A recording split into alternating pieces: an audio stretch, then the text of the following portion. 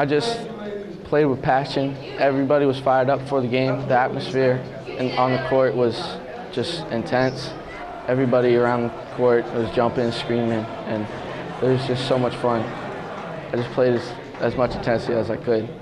Well, you know, postseason wise, it's, it's, it's really big because that was, uh, that was a goal. Um, you know, we had wanted to close the season winning seven in a row, and, and certainly that, that ended last night uh, with a disappointing loss to, to. But extremely proud of, of the kids and how they mustered, you know, enough energy to step onto the floor tonight and give what I thought was just an outstanding effort. Uh, played with tremendous energy, tremendous passion, tremendous heart.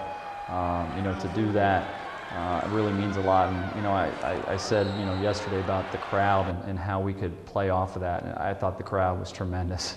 I mean, it, it, was just a great crowd to, to be able to fill the gym uh, in support of a great cause and, also support of a great game. You know, between two really good teams. That, that was really cool.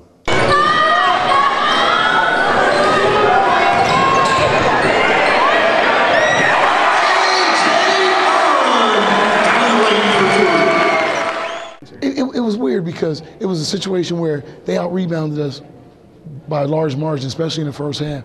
In that last sequence, we probably got two or three offensive rebounds, couldn't put those back in. And it was just like our energy was there, our effort was there, the ball just didn't fall. And as a couple of the kids said, we never want to lose, but you know, if we were going to lose, this is the best time to do it instead of next week and when we hit the districts and so forth. So we're not happy about it. I mean, it hurts everyone in that locker room, but we're still we're still ready to roll. Nick, Nick has um, he's come to practice every day, uh, worked very, very hard. Uh, sometimes he hasn't gotten the amount of minutes maybe that you know a kid would want to to, uh, to get, but he never has pouted about it or complained about it. But every day he shows up and works hard to get better. And, and when called upon, you know he was ready to deliver. And uh, so we're really proud of him being able to step up. He does a great job attacking the rim and getting to the rim um, which was one of the points of emphasis. And, and, you know, he came through and really, really did a great job of that. Um, you know, plus uh, he just played with a lot of energy and, and so forth, which was indicative, I thought, of the entire team effort tonight.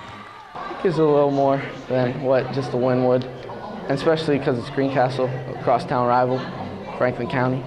But we gave them the first loss and keep going on the season.